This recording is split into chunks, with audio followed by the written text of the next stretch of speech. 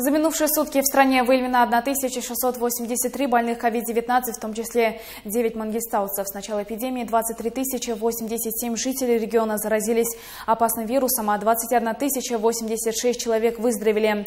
За прошедшие сутки в стране вылечились 2228 пациентов, в их числе 202 жителя Мангистаускской области.